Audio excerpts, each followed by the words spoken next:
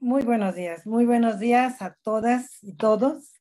El día de hoy estamos engalanados, tenemos una mesa muy importante con mujeres muy destacadas, mujeres indígenas, que además han recorrido el mundo y han sido representantes de muchas otras mujeres. Voy a tener el placer de presentarles, pero quiero decirles que en nombre del Museo de la Mujer y de su fundadora, la doctora Patricia Galeana, les damos la más cordial bienvenida a este centro de difusión de una cultura nueva de igualdad sustantiva entre todas las personas, independientemente de su sexo o de cualquier otra condición.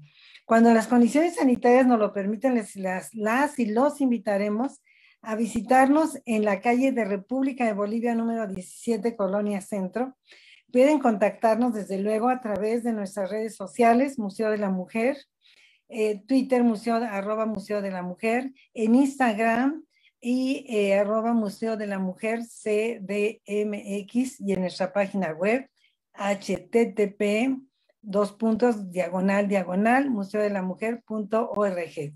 Sin mayor preámbulo vamos a pasar a la mesa que nos convoca el día de hoy, pero quiero no dejar de reconocer y agradecer a la a Chirapac, que eh, eh, un gran agradecimiento por la ilustración del cartel que nos hizo, eh, una cortesía de Newton Mori de Chirapac, un cartel excelente, lleno de vida, lleno de sol, lleno de movimiento. Muchas gracias a la ilustración de Newton Mori de Chirapac. Muchísimas gracias por esta ilustración. Ahora quiero decirles a ustedes que para mí es un gran gusto estar el día de hoy con ustedes en esta conmemoración del Foro Permanente para las Cuestiones Indígenas de la Organización de Naciones Unidas, pero le agregamos desde la perspectiva de género, porque además estamos en el Museo de la Mujer, ¿verdad?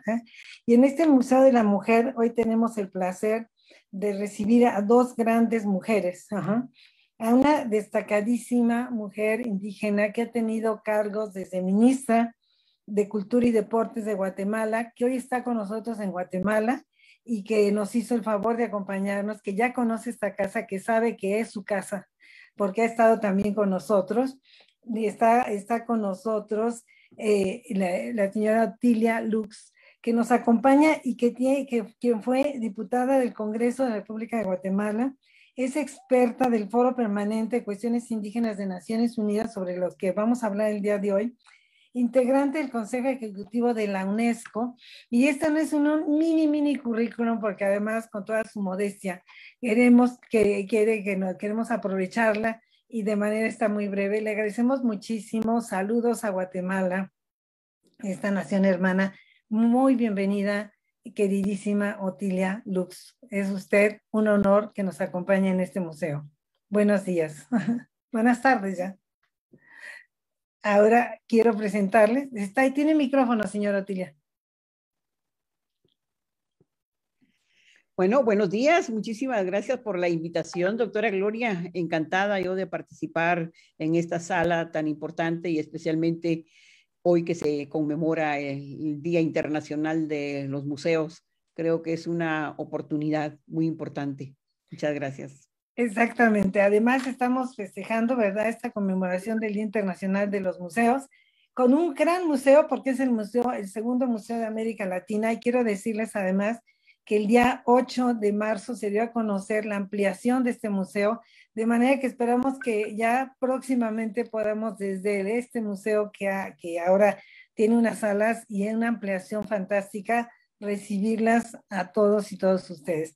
Nos acompaña también una gran compañera, amiga de muchas batallas, también una compañera que tiene una amplia experiencia, eh, la ven muy joven, pero tiene una amplísima experiencia, nuestra querida Arce, Arcelia García de la Alianza, de la Alianza Internacional de Mujeres, quienes, quien nos acompaña el día de hoy como, y es asesora. Ella es Maya Quiché, perdón, no, Maya Quiché, no la estoy mandando nuestra querida Otilia, la, que, es, que es maestra, de hecho, eh, la maestra Otilia Lux de Coti, este, es maya quiché guatemalteca, ¿no? Pero ella ya, ya hice su, su, presentación. Y quiero decirles que ella fue directora ejecutiva del Foro Internacional de Mujeres Indígenas de, y experta indígena del Foro Permanente de Pueblos Indígenas de Naciones Unidas. O sea, es una gran experta, nuestra querida maestra Otilia Lux, que nos, eh, que, a quien ya presenté hace un momento. Y ahora quiero a ustedes presentarles también brevemente a nuestra querida Arce, nuestra querida Arce que viene de la región sur norte de Oaxaca, licenciada en psicología y licenciada en Derecho en la Universidad de Nuevo León. Realizó un posgrado en la Universidad Carlos III y actualmente es coordinadora de la Alianza de Mujeres Indígenas de Centroamérica y México, AMICAM. Ha sido delegada en el Foro Permanente de Naciones Unidas de Pueblos Indígenas. Como ven ustedes, tenemos a representantes del foro y a mujeres que han sido delegadas, como en este caso nuestra querida Arce. Ha sido delegada de este foro durante su trayectoria, ha ocupado diversos cargos de alta responsabilidad a nivel nacional e internacional, tal como el Fondo de Desarrollo de Pueblos Indígenas de América Latina, el FILAC, que también nos gustaría mucho hablar sobre este fondo, de, en la Secretaría de Desarrollo Social, en CEDESOL, en la Comisión Nacional para el Desarrollo de Pueblos Indígenas, CDI, que se llamaba, y en, la, en, este, en una agencia de noticias también de mujeres indígenas y afrodescendientes, ¿no? Es asesora de, de la unidad formativa eh, Psicología Social y Comunitaria, licenciada en Economía Social y Desarrollo en localidad de la Universidad Autónoma Juárez, así como coordinadora académica del Diplomado Intercultural para fortalecer el liderazgo de las mujeres indígenas y afrodescendientes. Y bueno, es colaboradora y ha sido eh, llamada también como experta por varias organizaciones internacionales. Pues muchísimas, muchísimas gracias por acompañarnos, por tener esta presencia y estas figuras de mujeres como, como ustedes. Y el día de hoy pues vamos a hablar de este famoso foro, que ustedes conocen mejor que yo, yo nada más daré unos antecedentes, ¿no?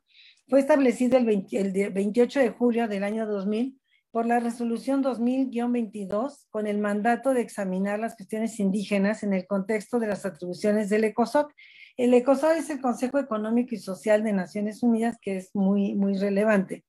Y, este, y con este mandato para trabajar cuestiones relativas al desarrollo económico social, la cultura, el medio ambiente, la educación y la salud de los derechos y la salud y los derechos humanos, ¿no? El foro tiene como tareas prestar asesoramiento especializado y formular recomendaciones sobre cuestiones indígenas al Consejo, así como de Naciones Unidas, así como a los programas, fondos y organismos de Naciones Unidas por conducto de COSOC. Aumentar la concientización y promoción, integración y coordinación de las actividades de Naciones Unidas relacionadas con cuestiones indígenas dentro del sistema de Naciones Unidas y preparar y difundir información sobre cuestiones indígenas. El Foro Permanente para las Cuestiones Indígenas de Naciones Unidas promueve el respeto y la plena aplicación de las disposiciones de la Declaración de Naciones Unidas sobre los pueblos indígenas y vela por su eficiencia. Este foro está compuesto por 16 expertos independientes, expertas y expertos, quienes fungen como miembros en su capacidad personal durante tres años y pueden ser reelegidos. Es un, por cierto, los miembros actualmente es un foro paritario. Ocho de los miembros son propuestos, integrantes son propuestos por los gobiernos y ocho por las organizaciones indígenas. Y hoy es paritario. Eso es muy importante porque vemos que la paridad ha costado muchas veces trabajo poder llegar, ¿no? Eh, los, eh, las integrantes de este foro por las organizaciones indígenas son nombrados por el presidente de COSOC y representan a siete regiones socioculturales con miras a representar ampliamente a los pueblos indígenas, ¿no? Y pues sí, hicimos un análisis, efectivamente, eh, hay eh, seis mujeres que son miembros del foro permanente, tres nominadas por gobierno y tres nominadas por los pueblos indígenas, ¿no? Quiero decirles que en el periodo, en el primer periodo de sesiones, según información que encontré en el sitio precisamente del foro, donde tienen ustedes un foro maravilloso, una información accesible, nos dice que fue en mayo de 2002 el primer periodo de sesiones y, a partir de ahí son sesiones anuales, anuales sobre diferentes temas. Hasta hoy se han reunido en 20 sesiones. Pero yo quisiera ahora pasar la palabra pues a nuestras protagonistas, ¿eh? actoras de este, de este mismo foro, que yo quisiera preguntarle en este marco a doña Otilia y, y posteriormente a Arce, ¿cómo, qué, qué, ¿qué significado tiene este foro? Y fíjense, hasta el año 2000. Hay que tomar en cuenta que Naciones Unidas se crea en 1945. Llevó tiempo, ¿verdad?, crear un espacio para los pueblos indígenas. Doña Otilia, me acuerdo que, no sé si usted estuvo en la conferencia de Viena de 1993, cuando los pueblos indígenas pidieron que fueran reconocidos, ¿verdad? Como pueblos precisamente, ¿no? No como poblaciones, no como grupos.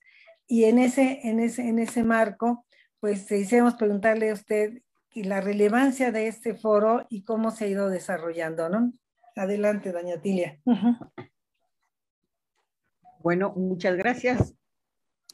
Vean, eh, la, creación de este foro permanente de cuestiones indígenas eh, tiene eh, su parte historial de cómo los pueblos indígenas llegaron a las Naciones Unidas de 1923. Entonces, ahí hay un punto eh, sobresaliente en relación a uno de los jefes eh, importantes de los, de los grupos, porque en ese entonces eh, el, el, término grupo era el predominante.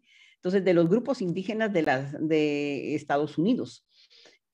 Uno de ellos, el jefe Cayuga, fue uno de los que fue, tocó las puertas de las Naciones Unidas, tanto en Nueva York como en Ginebra, para abordar temas importantes de su grupo de su población.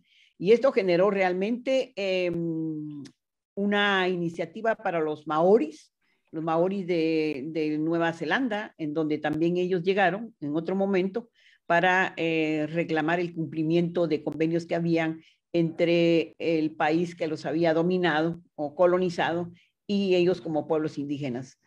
Entonces hubo como antecedentes eh, importantes, la OIT, que es una organización, ¿verdad?, internacional sobre el trabajo, siempre perteneciente a las Naciones Unidas.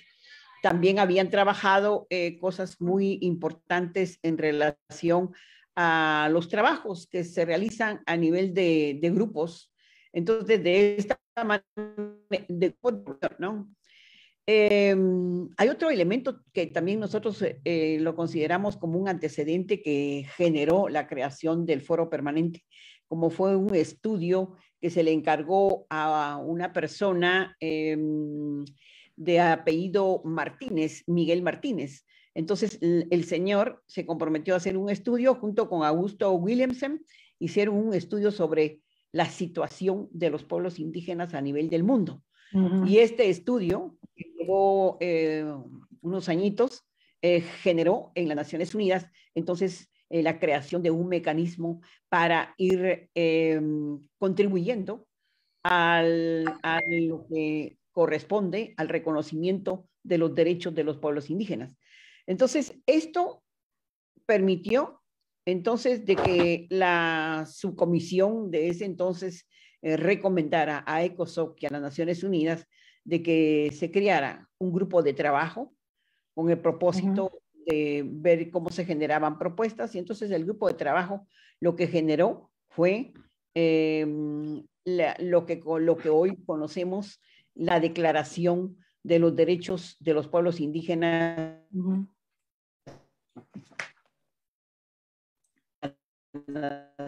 Unidas. hacer juntas en sus eh, comunidades y entonces se genera realmente eh, esa declaración desde los derechos de la tierra, el territorio y todos los derechos colectivos de los pueblos indígenas y también hubo ya la participación de las mujeres. Entonces las mujeres colocaron aspectos también importantes en que se debería de titular la tierra para las mujeres. Entonces, ahorita, vamos, ahorita, vamos a, ver lo de las mujeres. Ah, ahorita seguimos después. Para, para, decirle que eh, estaban ya, digamos, con una participación importante. Entonces, yo creo que en este sentido, eh, ya el grupo de trabajo mm, da, da, digamos, su producto, que es la declaración, y, y, la, y el país en donde se hizo la declaración fue México en el 2007. En 2007 México da su espacio, el gobierno mexicano, eh, y entonces se, se, firma la declaración ya por parte de los gobiernos que, que conforman las Naciones Unidas, y entonces sale la, la, la, declaración ya adoptada por las Naciones Unidas.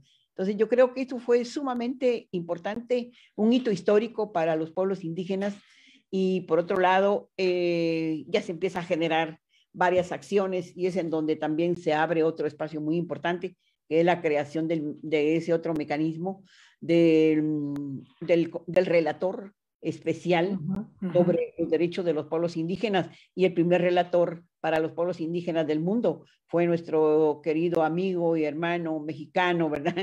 Eh, la verdad es que ahora que, que, lo mencionamos, eh, que en paz descanse y lo recordamos profundamente en todos los espacios. Pues ahí más o menos como... Claro que sí, no, muy bien. Mire, quiero decirle que, que efectivamente, bueno, queremos hacer un pensamiento un pensamiento muy importante a nuestro querido Rodolfo Stavenhagen, quien fue además el primer relator efectivamente espacial sobre hechos de los pueblos indígenas. Quiero decirle, doña Tilia, que yo eh, estuve en un evento hace muchos años con él y con usted. Ajá. Estaba en la Academia Mexicana de Derechos Humanos. Yo fui director y presidenta de la academia y con Rodolfo incluso hicimos y acompañamos precisamente estos esfuerzos en 2007, pues fue también relevante, pues siempre su papel de Rodolfo y que lo recordamos con mucho cariño porque creo que en todos los trabajos del foro no solamente los acompañó, sino empujó. Y en México, por cierto, hizo también una visita como relator especial de pueblos indígenas, ¿no? Este, muy importante. Eh, quiero decirle también que con Rodolfo iniciamos los primeros, los primeros cursos para mujeres indígenas del siglo pasado y que fuimos de las primeras organizaciones en México a trabajar con mujeres indígenas cuando todavía no había esas organizaciones. Y de ahí salió la semillita para las organizaciones que hoy forman colectivas, incluso regionales, mi querida Arce. ¿Tú qué nos puedes decirle de la relevancia de este foro? Y después ya vamos a hablar de ese, ese papel con esta perspectiva de, de, de género, ¿verdad? Pero de, de este punto de partida, la relevancia ¿Cuándo tomaste contacto con él? ¿Qué, qué nos cuenta? ¿Qué nos comentas, querida Arce? Eh, Padiursi, Macuali Tonali. Buenos días a todos y a todas. Eh, muchas gracias al Museo de la Mujer por la invitación. Muchas gracias a la maestra Gloria Ramírez Hernández, a la, a la doctora Galeano, a la maestra Otilia Luz de Cotí y a todas las compañeras hermanas indígenas que hoy nos acompañan para compartir su voz en este espacio académico nacional con una visión internacional. Pues para mí es un honor poder hablar hoy del Foro Permanente de Naciones Unidas como un espacio de articulación, como un foro eh, donde los indígenas del mundo llevan eh, precisamente las propuestas, pero también hacen estos informes de la situación que guardan los pueblos indígenas en el tema de derechos y la violación de estos derechos a nivel internacional. Pero también es un espacio donde se conjuntan las redes de mujeres y hombres indígenas para también proponer y que en su momento, cuando se salen las resoluciones del foro, de las diferentes sesiones, eh, pues eh, puedan hacer las recomendaciones a los estados para que se hagan políticas públicas a favor de los pueblos y comunidades indígenas. Muy bien, sí, efectivamente. Pues ahora sí nos vamos a remontar. Fíjense que yo les platicaba que con Rodolfo Stavenhagen en la Academia Mexicana de Derechos Humanos, una organización que se crea en los años 80, tuve el honor de participar con él. Y en ese, en ese foro asistió Sofía Robles, asistió el que era esposa de Sofía Robles, Filiberto, en aquel entonces, lamentablemente, un gran dirigente que falleció. Y, vimos la necesidad de trabajar con mujeres indígenas en particular, pero ya, ya en el, y en el foro, ¿cuándo fue donde se empiezan a incorporar eh, mujeres indígenas hasta que hoy en día vamos de la paridad entre los integrantes del foro permanente, ¿no? ¿Cómo fue ese proceso, doña Otilia? Querida maestra. Sí, muchísimas gracias. Em, cuando nosotras ingresamos, no estaba ese criterio de la paridad.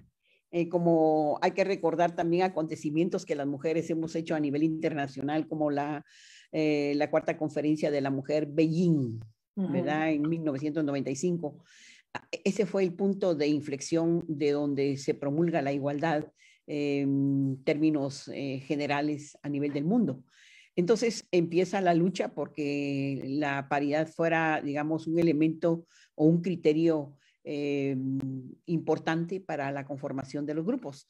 En, el momento en que se conforma la comisión, ese criterio todavía no estaba fortalecido venía como propuesta de, la Declaración Mundial de la Cuarta Conferencia, pero no estaba todavía aterrizado en las Naciones Unidas, ni mucho menos en países eh, latinoamericanos, en donde eso ha costado demasiado, pero otros países sí han dado eh, un paso adelante. Entonces, de esta manera, eh, nosotros, en el momento en que se nos seleccionó, porque como usted lo explicaba, doctora Gloria, en donde habían ocho, así, es la conformación, hay ocho eh, expertos eh, propuestos por las organizaciones eh, mundiales, así, o internacionales, que van también apoyadas por organizaciones nacionales, pero el peso es la organización internacional. Es decir, las coordinadoras, bueno, las articulaciones, las redes internacionales, eso tiene mucho peso en las Naciones Unidas. Entonces, cuando a mí se me invitó, que fue en el año 2000, eh, em, yo estaba como ministra de Cultura y Deportes, entonces yo tenía eh, un elemento que le podía dar al país, eh, mm, digamos, la, la, facilidad para poder ingresar. Entonces, recuerdo muy bien que el canciller de Guatemala me dijo que había nacido un mecanismo en las Naciones Unidas que era para los pueblos indígenas y que habíamos dos candidatas, una era la Premio Nobel de la Paz y yo. Eh, sin embargo, nuestra querida hermana Rigoberta Menchú no, no fue eh, en el momento una de las candidatas, porque ustedes saben, por cuestiones políticas, ¿verdad? En los países y, y aquella cuestión en que en el momento habían oposiciones. Entonces, en ese momento, pues en el caso mío, siendo ministra, eh, no podía haber, digamos, eh, algún tipo de bloqueo, puesto que era el gobierno quien estaba proponiendo. Entonces el gobierno me propone y la verdad es que mi currículum hizo un 50% de los puntos que llevábamos. Entonces el otro 50% ya el, el embajador de las Naciones Unidas de Guatemala ante las Naciones Unidas hizo todo el cabildeo y la incidencia, ¿verdad?, con los otros países de los 47 eh, miembros que son del ECOSOC. Y entonces ahí logré yo 37 votos, entonces quedé.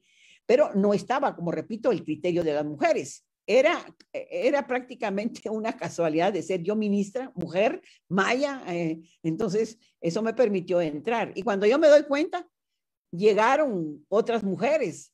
Llegó la, eh, eh, llegó la representante de Dinamarca, que era mujer. teníamos a otra que era del Asia del Pacífico por lo menos ya éramos tres mujeres, pero eh, llegó otra hermana, eh, permítame, vamos a ver, era de, Europa en, el caso de los Samis, pero también habían hombres, había un hombre Sami muy importante y que ese fue el presidente, el primer presidente del foro en ese entonces. Entonces, habían más hombres que mujeres. Eh, creo que ahora ya ha cambiado, ahora se pide generalmente la paridad y esto es sumamente importante porque ha ido evolucionando el criterio y ahora pues creo que estamos eh, en, en ese posicionamiento político en donde las mujeres pedimos la igualdad en nuestros países y que ha sido un poco difícil en el caso de Guatemala. Siendo tan, un país tan cercano con México y México nos ha dado lecciones tan importantes y que las hemos tomado también como parte referencial para poder, digamos, lograr eh, la participación equitativa. Y ahora que tenemos el evento de Chile, eh, es sumamente importante, en donde hay más mujeres que hombres para la asamblea.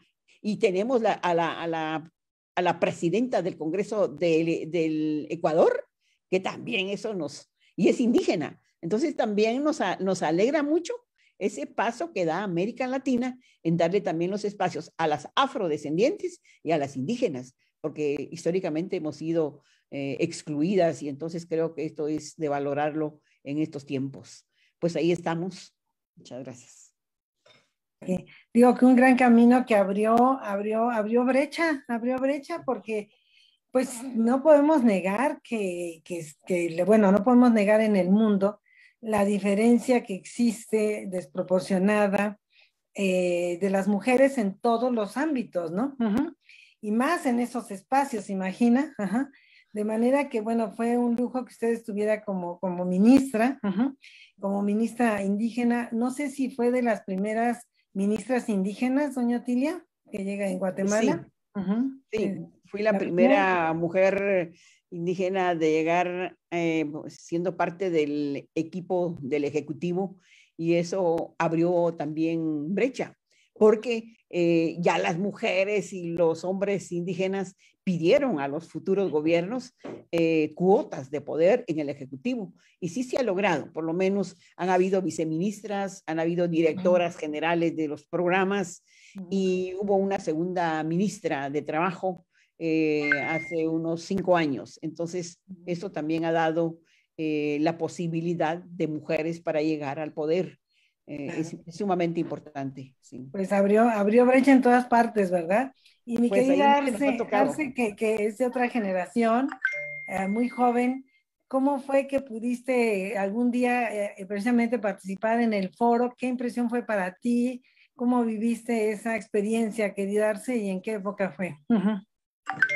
Muchas gracias. Pues primero reconocer el trabajo que han hecho mujeres indígenas como doña Otilia Lush, como Mirna Cunningham, como Tarsila, eh, y otras más, este, ese rato mencionabas a la maestra Sofía, bueno, hay muchas, muchas mujeres más que han hecho trabajo de cabildeo e incidencia política, social, eh, para que mujeres eh, de mi edad, de mi generación, pues podamos estar, ¿no? Y se pueda construir a lo mejor una red de jóvenes indígenas que también lleven su voz al Foro Permanente de Naciones Unidas. Bueno, me gustaría platicarles que la primera vez que yo fui al Foro Permanente de Naciones Unidas fue por ahí del 2016, cuando eh, em, estábamos viendo las recomendaciones al Foro Permanente sobre cuestiones de paz.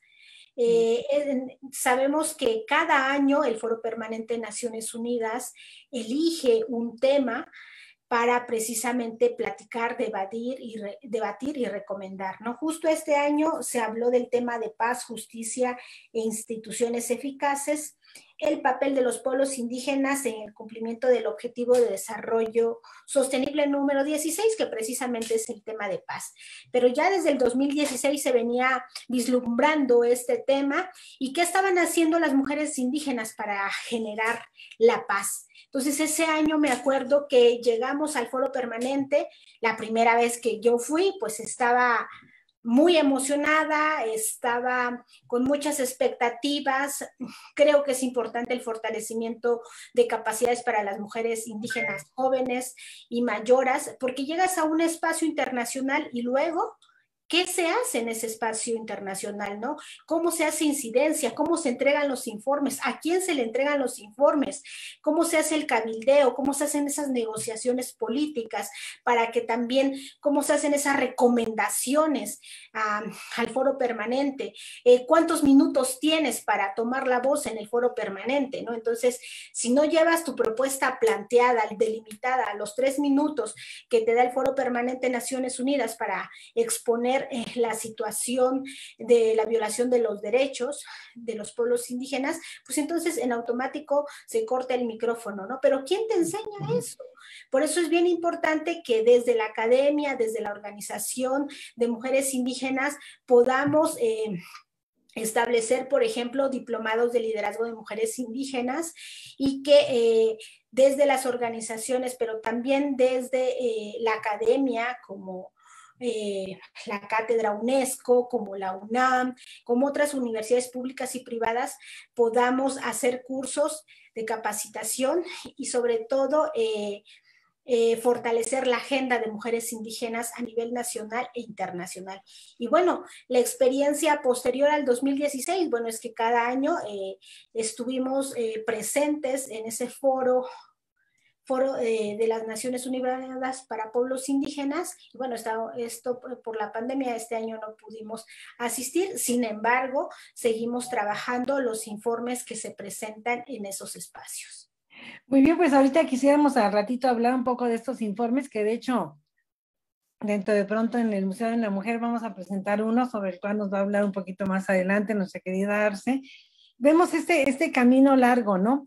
Entonces, bueno, sintetizando, quiero decirles que efectivamente el foro, este foro permanente sobre cuestiones indígenas, este foro permanente de Naciones Unidas sobre cuestiones indígenas, es uno de los tres espacios que existen en Naciones Unidas como el mecanismo de expertos de derechos humanos de pueblos indígenas, el relator especial de derechos de los pueblos indígenas, y ya doña la maestra Tilia recordaba que fue Rodolfo Steinhagen, uno de estos relatores, y que han visitado a México precisamente para ver la situación de los pueblos indígenas.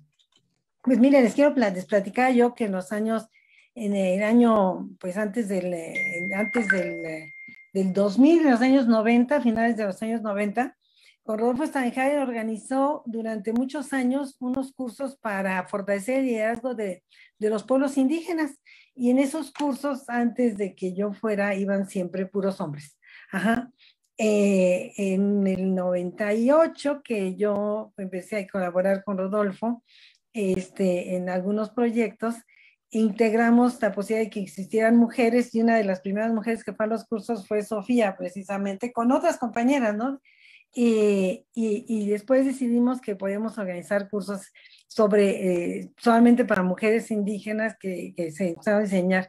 Pues quiero decirles que el mecanismo, precisamente el foro permanente está lloviendo que en su tercera sesión habló de mujeres indígenas.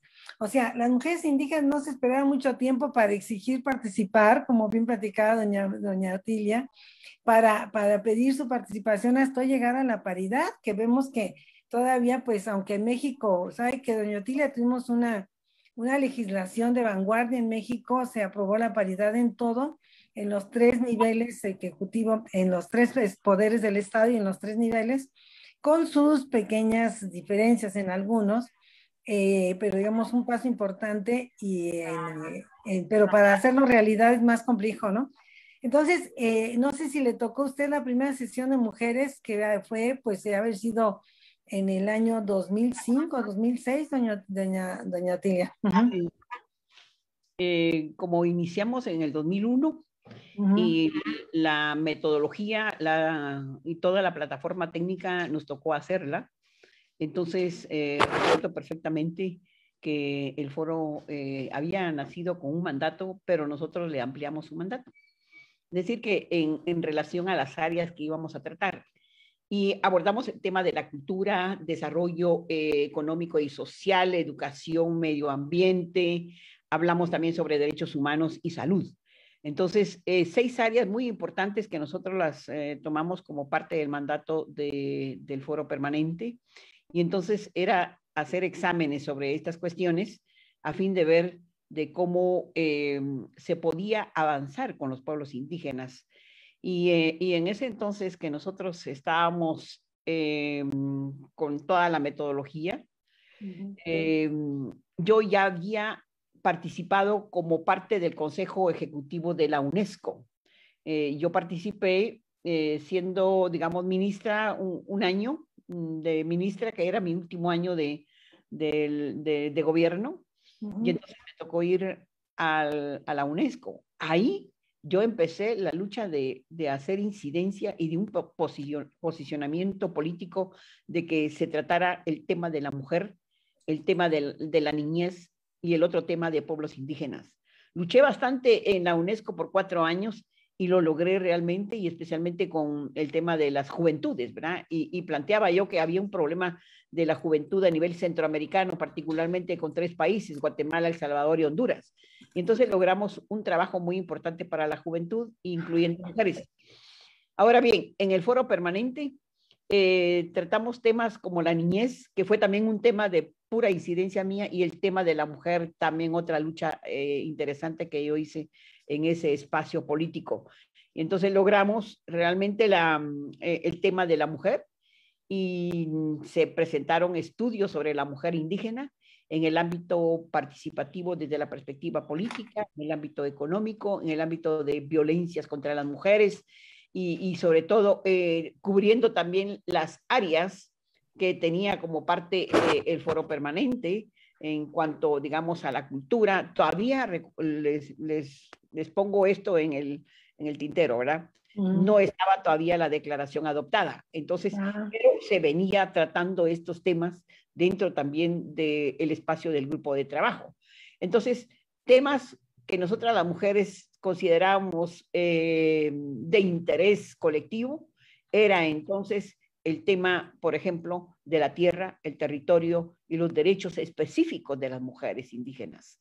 Entonces luchamos por eso, aunque algunos decían que, que no, porque los mismos derechos eh, que teníamos como pueblos indígenas eran los mismos nuestros. Nosotros le decíamos que sí, que eran nuestros derechos también porque eran derechos colectivos, pero nosotras las mujeres indígenas tenemos también derechos específicos. Y tratamos de hacerlo, hicimos los estudios y se presentó un trabajo, el, tema más bien, el tema específico del tercer foro. Fue el tercero, el tercero que fue, recuérdense que el 2001 empezamos, 2002 y el 2003. En el 2003, cuando nosotros tratamos ese tema de la mujer. Y sí, participaron mujeres del mundo. Entonces llegaron organizaciones, las mujeres tenían eh, predominancia eh, para su intervención porque era el tema específico, ¿verdad? Y también pedíamos escuchar a los hombres a manera de incluirlos en el tema de nuestros derechos y que fuera permeando en las organizaciones, porque era un punto eh, que nosotros teníamos como parte eh, inflexible. Es decir, que en las organizaciones era difícil abordar el tema específico de los derechos específicos de las mujeres indígenas.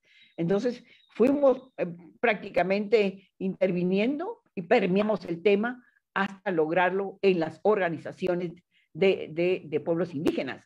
Uno, como un primer, una primera, podríamos decir, un primer elemento ganado por nosotras las mujeres.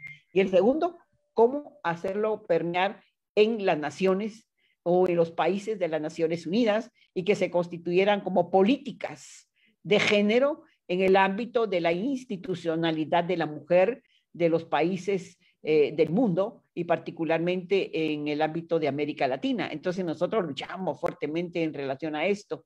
Y, y fue un informe muy, muy interesante y como le digo, abarcó varios temas, repito, la participación política de las mujeres, el empoderamiento económico de las mujeres, porque veíamos que si las mujeres no son empoderadas económicamente, es difícil que participen en el ámbito político porque no tienen recursos. Entonces, eh, lo, lo, planteábamos eh, muy fuertemente y el, el, tema de la violencia contra las mujeres, la carencia de tierra para las mujeres y la titulación de las tierras para las mujeres dependía del sistema de tenencia de tierra. Si era un sistema colectivo, pues las mujeres tenían también que aparecer ahí. Entonces era una lucha permanente nuestra. Por otro lado, abarcábamos el tema de la salud de la mujer, le dimos mucho, mucha atención a los conocimientos ancestrales de las mujeres, porque las mujeres indígenas tienen muchísimo conocimiento ancestral, esa sabiduría en relación al tratamiento de la salud fue sumamente subrayado en ese informe y por otro lado también hablábamos sobre la educación y le dimos importancia a la educación bilingüe intercultural o educación intercultural bilingüe de acuerdo a la corriente de cada uno de los países, pero que era darle realmente un sistema de calidad a los niños y a los jóvenes. Esto lo debatimos bastante y afortunadamente quedaron recomendaciones para el ECOSOC.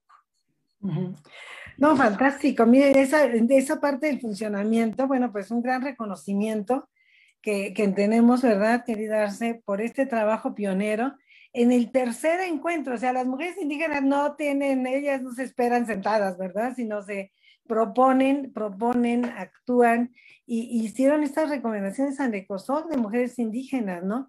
Que pues vemos que, que dan sus frutos, fíjense, en aquella 10 años después, en 2016, es la sesión donde participó nuestra querida Arce, ¿verdad? Ajá.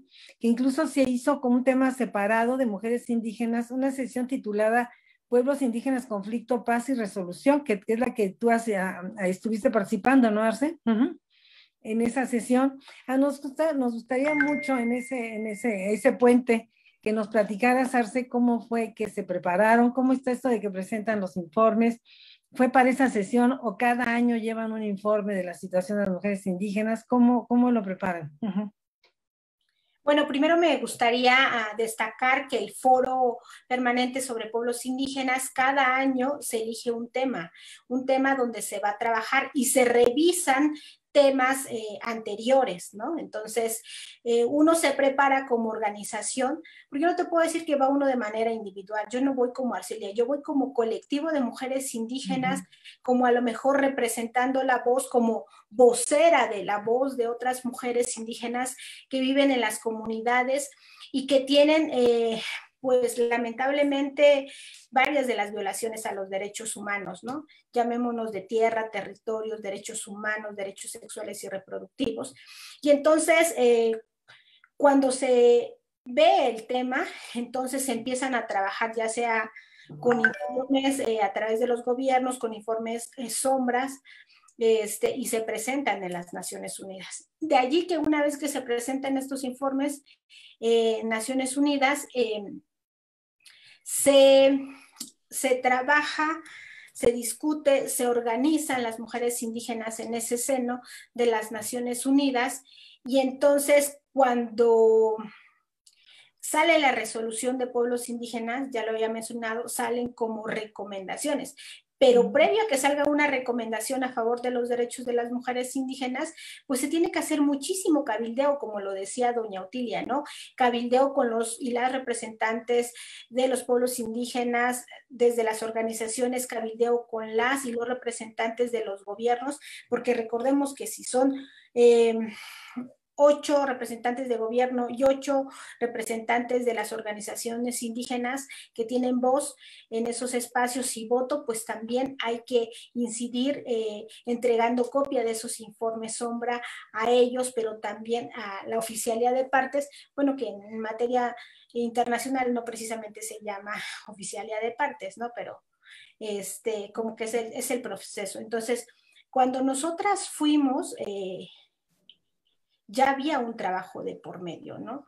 Ya había un trabajo que habían hecho mujeres organizadas en, e, esos, lugares, ¿no? Entonces, eh, justo cuando la Alianza de Mujeres Indígenas de Centroamérica y México nace en el 2000, en el 2004 nace, imagínense, eh, ahí se conocen la mayoría de las coordinadoras, las que ahora somos coordinadoras, este, se conocen en ese espacio se articulan, crean una agenda, pero también eh, no basta con decir, tengo muchos problemas también es indispensable decir, para esto tengo una solución, ¿no? Y quiero que esta solución sea desde la visión, desde eh, las mujeres indígenas, ¿no? Entonces, en el 2006 fuimos a entregar un informe, hicimos un eh, estudio sobre el tema de paz de mujeres indígenas. Recordemos que en, ese, en esa época había crecido los índices de violencia en nuestro país y pues, se propuso un proyecto que se llamó Mujeres Indígenas Sembradoras de Paz con Justicia y Dignidad. Este, ese proyecto fue internacional, eh, hicimos un festival por la paz en Colombia e hicimos eh, varios talleres y cursos en México para hablar del tema de paz, ¿no? Porque decíamos, bueno, la violencia está presente en muchos lados, pero hablemos mejor de paz. ¿Cuál es eh, la fortaleza de las mujeres indígenas y cuál es la propuesta de mujeres indígenas desde la paz, ¿no? ¿Cómo hacemos sanación las mujeres indígenas? Si no tienes sanación desde una espiritualidad, de la, desde la cosmovisión de pueblos indígenas, entonces, ¿cómo vas a generar la paz, no? El tequio, la gozona, la guelaguetz es una forma de generar paz en las poblaciones indígenas. Entonces, se propusieron tres acciones en México, una aquí en Oaxaca, otra en Puebla eh, y otra en el norte, en Sonora. Eh, justo en Sonora nos reunimos eh, las mujeres yaquis, las mujeres migrantes de Baja California, de San Quintín, también llegaron las mujeres de Nuevo León, precisamente para construir una agenda y trabajar en esa agenda, ¿no? En esa, en esa reunión recuerdo que salió el tema del agua como un ente de conflicto y hicimos el segundo foro en Puebla, recabando insumos e información para llevarlas a la siguiente sesión del foro permanente. Y cuando quisimos hacer la actividad aquí en Oaxaca, no se pudo hacer en Cuchitán, me acuerdo, bajo el liderazgo de eh, la maestra Guadalupe Ríos, una periodista indígena, justo ella era la que lideraba ese proceso aquí en Oaxaca, y el día que se iba a realizar no se pudo hacer porque hubo un atentado en Juchitán y no se pudo realizar, ¿no? Entonces, eh, nos seguimos eh, articulando. Ahora eh, trabajamos muy de la mano con el ECMIA, que es el Enlace Continental de Mujeres Indígenas de las Américas, y en conjunto con ellos estaba ahí también doña Otilia Luz de Cotí, recuerdo, hicimos el, la primera este, el primer festival de mujeres indígenas sembradoras de paz con justicia y dignidad en Bogotá, en la Universidad del Rosario, en Colombia, eh, donde se juntaron músicos de América Latina precisamente para visibilizar cómo se construye la paz desde las artes, ¿no? Entonces, eso, ese tipo de cosas no se, a veces no se ponen en un libro, pero eh, no se sistematizan, sin embargo, se realizan, ¿no? O sea, cómo las comunidades indígenas son generadoras de paz y cómo esa justicia puede generar dignidad en las mujeres, sembrando cada día esa semilla de esperanza y de luz desde el trabajo, eh, comunitario de hombres y mujeres indígenas. Pues esa fue nuestra experiencia.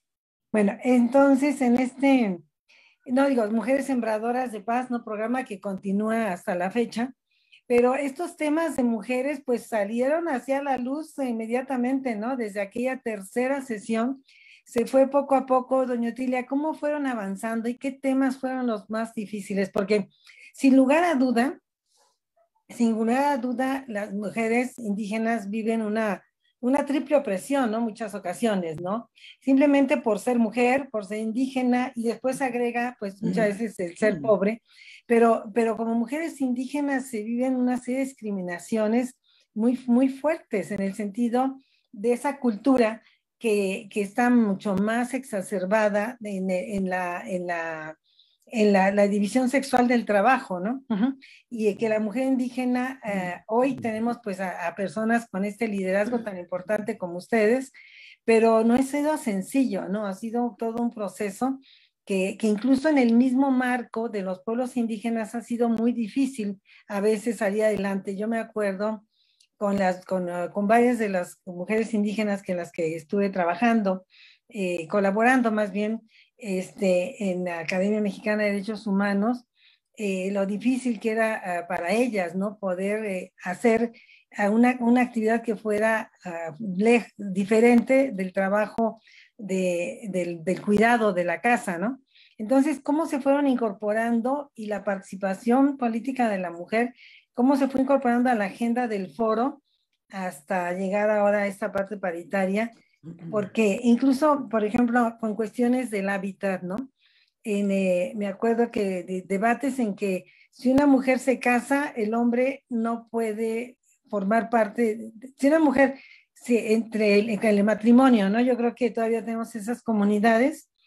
Si, si ella se casa con una persona fuera de su comunidad, el hombre no se puede integrar a su comunidad en algunas ocasiones sino que ella es la que tiene que integrarse a la comunidad de él y a veces son excluidas, ¿no? Viven en situaciones de matrimonio, de trabajo. ¿Qué nos cuenta en ese ámbito, este, doña Otilia?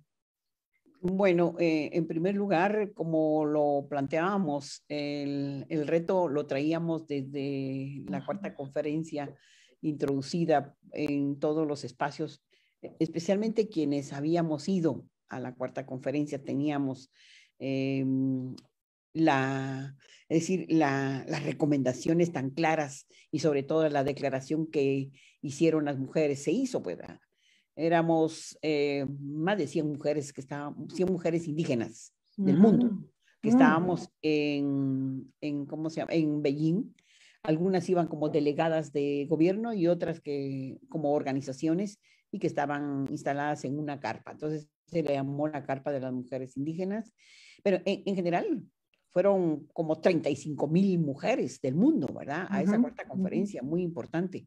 Entonces, desde ese reto tan importante de las 12 esferas de alta eh, preocupación de, de, las mujeres del mundo, esto nos permitió también ir buscando eh, una hoja de ruta ¿verdad? En nuestros países. Pero todo esto que llevábamos en el alma y, como un compromiso, ¿verdad? Lo llevábamos tan latente eh, como un compromiso social para nosotras mismas, las mujeres.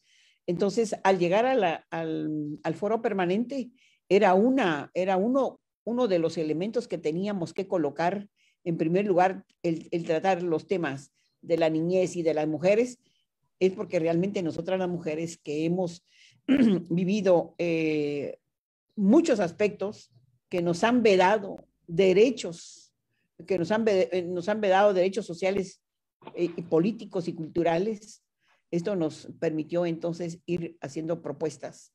Y lo que marcó realmente fue la tercera, el tercer tema, es decir, la tercera, la tercera reunión o el tercer foro o, el tercer, o la tercera sesión del foro, el tema de la mujer. Ese tema tan específico llevó tanta intervención de mujeres que acudieron en ese entonces y que las propuestas fueron eh, recolectadas y, sistematizadas a recomendaciones para el ECOSOC. ECOSOC que es la encargada de girar las recomendaciones a los países eh, del mundo. Entonces, ahí empieza a, a nacer la semilla de la paridad. Entonces, pedíamos entonces la paridad en cuanto a la presencia de las organizaciones que llevaban a sus representantes. Paridad en cuanto, digamos, a la conformación de, los, de la, la próxima estructura del foro permanente. Eso se fue creando desde la tercera reunión con el tema de la mujer y se fue, digamos, incorporando poco a poco y cuando ya lo teníamos como un requisito, ahora es un requisito, ahora va 8-8 y así está la conformación de, del, digamos, de la estructura de los expertos de los derechos de los pueblos indígenas. El tema es lo difícil, es llevar esa paridad en, en nuestros países. Claro, el caso de México, eh, el caso de Costa Rica, em, Argentina, Ecuador, eh, Bolivia, que ha sido otro de los países también que nos ha dado, son países de, de vanguardia en el ámbito legislativo, eh, creo que nos han dado muestras muy importantes. Pero a duras penas son siete países del mundo, perdón, de, América Latina, eh, en donde se hace esta práctica de la paridad eh, con base a la legislación y que se mira en los poderes de Estado. Ahora, en el caso de los pueblos indígenas y muy especialmente las mujeres, esta es una odisea total. Es decir, la participación y llegar a un Congreso de la República es cuesta arriba para nosotras las mujeres indígenas por la misma situación en que en muchos países, o podría yo decir, ¿verdad?, de que eh, tiene un vínculo colonial, un vínculo con todo lo que corresponde a la formación, conformación de las repúblicas, y entonces se, se instauró la violencia epistémica, en donde se consideró una cultura superior a la otra, etcétera. Entonces, yo creo que esto ha, dado lugar a que los países les ha costado muchísimo un avance importante y significativo para la participación equitativa de las mujeres. La paridad es una cosa tan anhelada por nosotras las mujeres, eh, tanto indígenas como mestizas en Guatemala, que ha sido muy difícil. Sin embargo, sigue haciéndose la propuesta por parte de las parlamentarias, tanto eh, indígenas, porque hay, hay mujeres parlamentarias indígenas y hay también un número también muy considerable de mujeres mestizas. Entonces, han trabajado en conjunto, se ha hecho esa, esa propuesta, pero como les digo, en el ámbito del foro permanente, incluso se habla de políticas eh, orientadas en el marco de la diversidad. Entonces, también a eso nosotros le apuntamos y a esa diversidad, obviamente, decimos, bueno, es cierto que nosotros somos un foro indígena, pero que también vemos la diversidad. Pero hay que, hay que digamos, en primer lugar, eh, resolver el tema de las mujeres indígenas.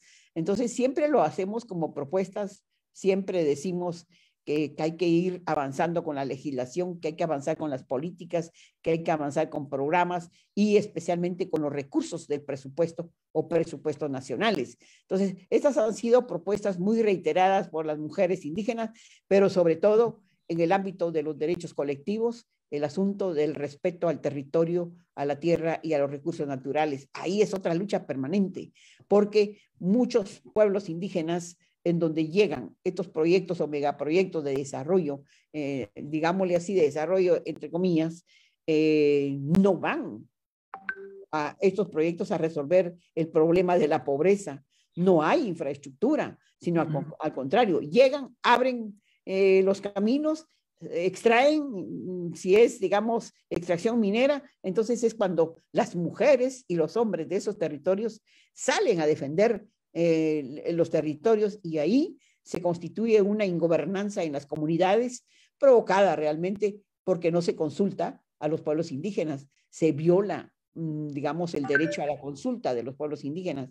Y esto pasa en todos los territorios, en perdón, en todos los países, ¿verdad? Hacia los territorios indígenas. Entonces, yo creo que en el ámbito de la, volvamos a la paridad y a la equidad, ha sido en el foro permanente uno de los logros también importantes. Ahora lo que hay que ver también es esa equidad en el manejo de los presupuestos nacionales. Ahí sí hay un pleno desequilibrio, porque en donde deban desarrollarse políticas sociales y económicas para estos pueblos, eh, no existe un presupuesto etiquetado como se ha logrado.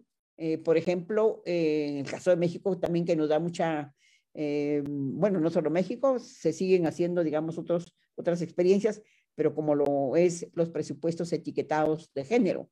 Esto es sumamente importante para lograr, digamos, la, mm, bueno, ahí sí que el desarrollo de las políticas sociales y económicas de, los, de las mujeres, especialmente nosotras las mujeres. Y ahora esto se está, digamos, eh, trabajando muchísimo en todos los países, ¿no? Hoy se habla de la diversidad, eh, no solamente de mujeres indígenas, afrodescendientes, mujeres mestizas, eh, mujeres feministas, eh, LGTBIQ y mm. más, todo, todo lo que se, se aborda dentro del marco de la diversidad. Pues ahí estamos dando pasos y que lo que, lo que hay que procurar es que no regresemos. Exacto. Todo lo conquistado por las mujeres a nivel del mundo y a nivel de América Latina o a nivel de países, no regresemos, no permitamos esos retornos, perdón, sí, esos retornos, ¿verdad? Eh, son medidas regresivas que están asumiendo algunos países, el caso de Guatemala, el Congreso de la República actúa mucho con ese comportamiento de llevar una legislación o revisar legislaciones y se les quita los colmillos de la legislación. Entonces, eso también es preocupante. Sí, no, eh, a veces eh, no se tiene que hacer marcha atrás, pero lamentablemente los riesgos siempre existen, ¿verdad? Pues muy interesante este camino, cómo se van abriendo, este camino de, desde, desde, el foro permanente y cómo después se puede pues aterrizar en los estados. Efectivamente son siete estados solamente en América Latina que reconocen la paridad. Y sí fue, tiene muy buena, de Bolivia, ¿no? De los países, de los primer país que reconoció la paridad y bueno, el acceso de las mujeres indígenas es una doble carrera, ¿no? Le cuesta, cuesta mucho más, o sea, nos cuesta a todas, pero les cuesta triple a las mujeres indígenas, ¿no? Ese camino para poder tener un liderazgo, para poder ser reconocida, para poder influir y participar políticamente no es, no es sencillo, ¿no? Ese acceso a los liderazgos de mujeres indígenas en, este, en el exterior y en el interior, ¿no? A veces de nuestras propias organizaciones no es tan sencillo. Y la agenda de la paridad pues mueve, mueve muchas cosas, ¿no? Porque en teoría dicen que sí, pero en la práctica no siempre se realiza, ¿no? En este marco, en, en el, eh, la, la, participación para ser delegada, como bien dijiste, querida Arce, tú fuiste como delegada y tú dijiste, no voy en forma individual, sino colectiva, ¿no? Yo me acuerdo que cuando nosotros empezamos a organizar los primeros, los primeros foros, pues simplemente la convocatoria y poder contar con mujeres que participaran en los foros no era fácil, o sea, porque ellas tenían que dejar a los hijos, a la familia, a los animales, a los abuelos solos, o sea, y organizarse, ¿no?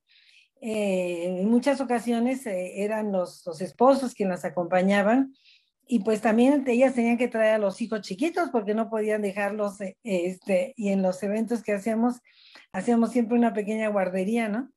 Ese, ese proceso que, que yo me, en los años 90 todavía me acuerdo las dificultades, ¿no? De que pudieran participar mujeres en, en cursos, y ahora pues vemos a mujeres tan empoderadas como nuestra querida Arce.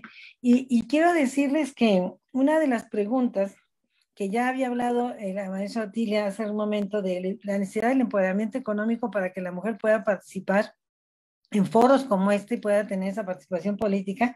Y nos dice Arce, si puedes contestar, ¿cómo influye el empoderamiento de la mujer indígena en el mundo? Quiero decirles que tenemos a personas de varias partes de la República Mexicana por Facebook. Saludo a Lulú Ruiz Pavón desde Tabasco, a Carlita, a Carlita RG desde Chiapas, de Querétaro también tenemos saludos. Y después a Cris Bash desde Baja California, desde la organización Verapaz. Este, quiero decirle que Pau Trejo nos hace también una pregunta que ahorita se la voy a hacer a, este, a doña, doña Tilia, pero yo quisiera que nos contestaras esta, como este proceso de empoderamiento, Arce. O sea, es difícil, ¿no? Llegar a tener estos liderazgos como el que tú tienes, como tienen varias mujeres indígenas, todavía jóvenes, ¿no? no todo, son, son dobles carreras de obstáculos, ¿no? ¿Cómo influye el empoderamiento de la mujer indígena ante el mundo? Arce. Nos pregunta, no quiero decirte que nos pregunta Carlita, ¿eh? Carlita RG, eh, que nos está escribiendo. adelante. Bueno, un tema importante es el empoderamiento económico de las mujeres indígenas, ¿no?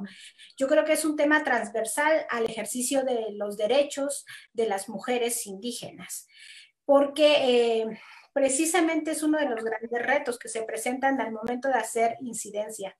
Si tú no los tienes los recursos humanos, materiales, económicos, eh, pues eh, conlleva a realizar un doble o triple esfuerzo para llegar a hacer un cabildeo. Eh, otro reto importante sería también, eh, y que va muy de la mano del empoderamiento económico, es el tema de la organización, ¿no? A lo mejor, eh, como dice el meme, ¿no? Tú me ves ahí en el foro, pero tú no sabes todo lo que tuvimos que hacer para llegar, ¿no? Entonces, es cabildear con, este, con las organizaciones, es ver cómo vamos a hacer los proyectos para los presupuestos, para que no nada más vaya una de las mujeres a, como representación y como parte del equipo de voceras, ¿no? Sino vayamos más mujeres a conocer estos procesos, a conocer estos espacios, a trabajar en estos espacios. Pero cuando estamos en esos, en esos lugares aparece un nuevo reto, el idioma pues si bien es cierto, en, la sede de las Naciones Unidas el español es uno de los idiomas oficiales, pero eh, hay muchos de, los espacios donde eh, las negociaciones, el cabildeo e incluso los informes tienen que estar en inglés o en francés o en otro de los idiomas oficiales de eh, Naciones Unidas, ¿no? Entonces, un reto eh, más se aproxima cuando tú estás en un espacio de liderazgo, ¿no? También esta parte de las habilidades técnicas y políticas que se pueden establecer, porque eh, para hacer un informe sombra, por ejemplo, hay ciertos requerimientos. Eh, tienes que saber, por ejemplo, además de, tener el conocimiento técnico para realizar un informe sombra, para tener las estadísticas, para tener los diagnósticos y los prediagnósticos, también tienes que tener habilidades.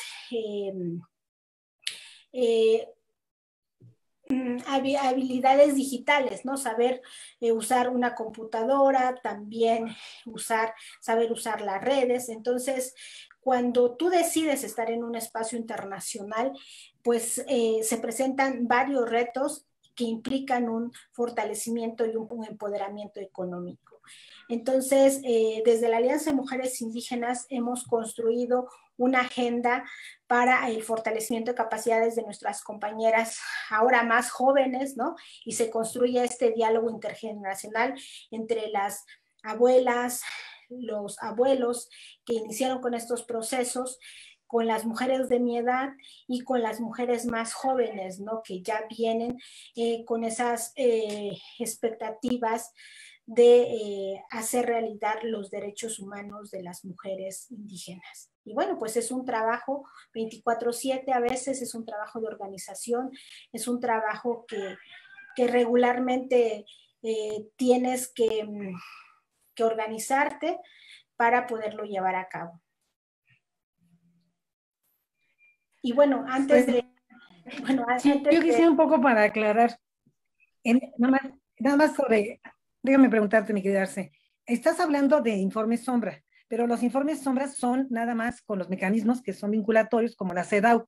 Yo quisiera saber si en el foro, que no es un instrumento vinculatorio, no es una norma tampoco, sino es un espacio, un órgano, ustedes presentan informes ahí esos informes no son estrictamente informes sombra, porque los informes sombra solamente son con los mecanismos vinculatorios, como la CEDAW, como todo, eso que tú ya sabes muy bien, porque también ustedes presentan esos informes sombra, pero yo decía, en el marco del foro, en el marco del foro permanente, eh, cuando asistes como delegada, ¿tú presentas un informe?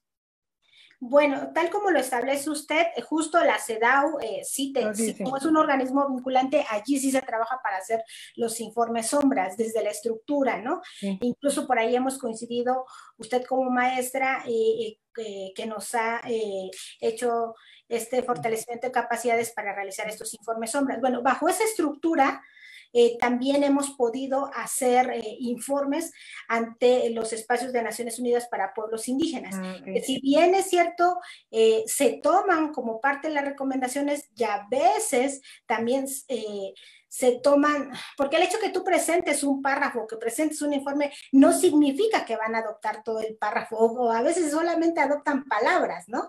Entonces, como esa parte sí es importante como visibilizarlo.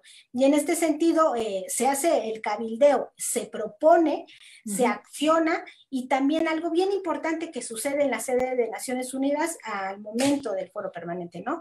Los hay eventos o los eventos paralelos que también, si bien es cierto, no son vinculantes, es una manera de hacer incidencia y de hacer articulación con otras organizaciones para posicionar un tema eh, que eh, pueda servir de eh, ejercicio de derechos de las mujeres indígenas, ¿no? En ese marco, ¿cómo son las resoluciones? ¿Cómo funcionan? ¿Qué impacto tienen? ¿Y, cuáles han sido las más relevantes sobre las mujeres? Por favor, maestra Ya, bueno, eh, en relación a la pregunta que se le hacía a Arcelia, y después eh, solo es nada más para hacer un agregado, eh, lo, lo, lo, incorporó Arcelia, pero creo que es solo para tener otro elemento más. Nosotras organizamos eventos paralelos. Eventos paralelos son los temas trascendentales que las mujeres indígenas hacemos en nuestros países o las organizaciones.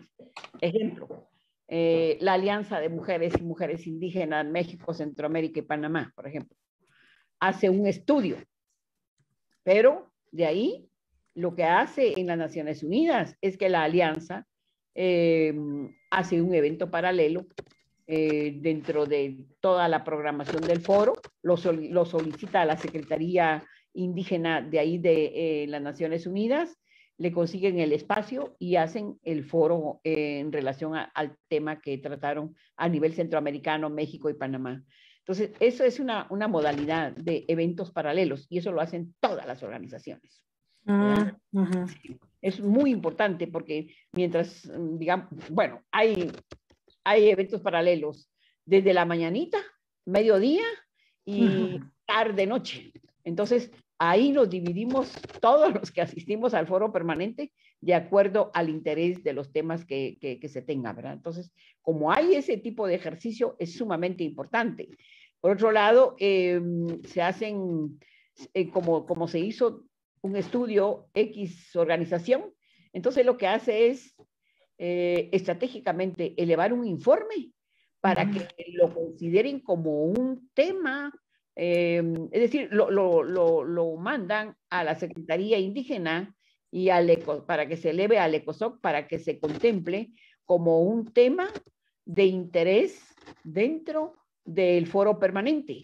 Es decir, va a tener únicamente ese, ese breve vínculo en donde se dice, bueno, aquí hay un tema que lo consideró la Secretaría y ECOSOC particularmente de, de tema de interés eh, para las discusiones, por ejemplo, ¿ah? algún tipo de discusión que se quisiera llevar, pero no es realmente la metodología exacta. Por ejemplo, yo pongo otro evento. Nosotros hicimos, eh, tuvimos la oportunidad, las mujeres eh, indígenas del mundo tienen un caucus que se organizan previamente dos días antes del foro permanente. Entonces, las mujeres del caucus em, participaron eh, previamente, en el 2014 participaron previamente para hacer estudios, llevar, digamos, em, informes, eh, llevar propuestas a fin de que las, las, propuestas de las mujeres a través del caucus eh, de mujeres indígenas se pudiera insertar en el documento de discusión y debate preliminar antes de llegar al pleno día de la conferencia mundial, porque así se le llamó, que fue un par de días, eh, se llevó ya como una, un, documento eh, concluido con una serie de recomendaciones de todas las mujeres del mundo, por ejemplo.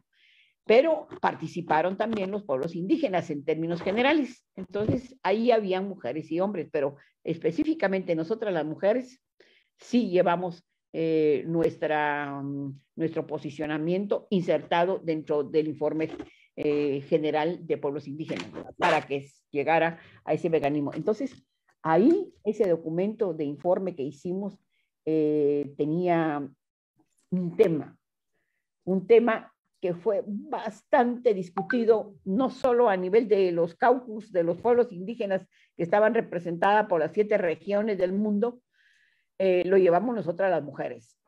Y, lo, colocamos en el documento y era la salud sexual y derechos reproductivos de las mujeres indígenas.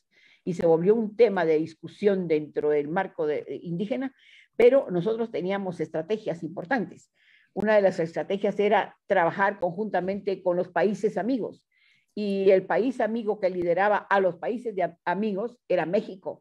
Entonces teníamos una conexión muy importante con México eh, en Nueva York y entonces trabajamos México, Guatemala, El Salvador, Bolivia, eran los, los cuatro sumamente aliados y los demás ya se fueron, digamos, sumando, eran 17 países amigos de pueblos indígenas. Entonces nosotros las mujeres insertamos ese tema que era muy discutido y em, en el momento nos decían los pueblos indígenas, pues que es un tema que no lo van a rechazar. Entonces nosotros dijimos, nosotras las mujeres, dejémoslo.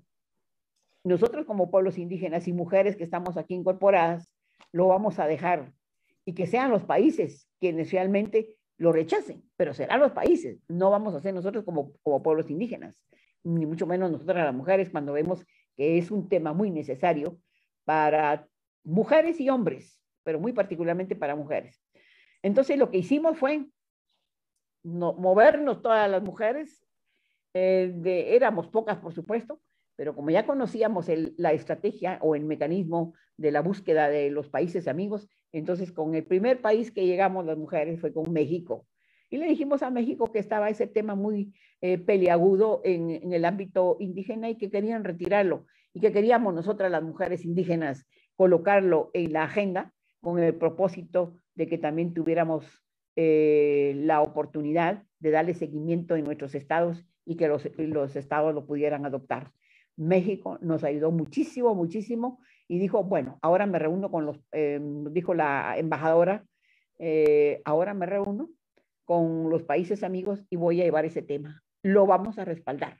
Entonces nosotras las mujeres nos callamos la boca, ya teníamos prácticamente el aval de los países amigos y entonces en el documento final que ya iba para los países amigos, nos dicen los compañeros, pero es que este tema de salud sexual y derechos reproductivos no está aprobado por nosotros.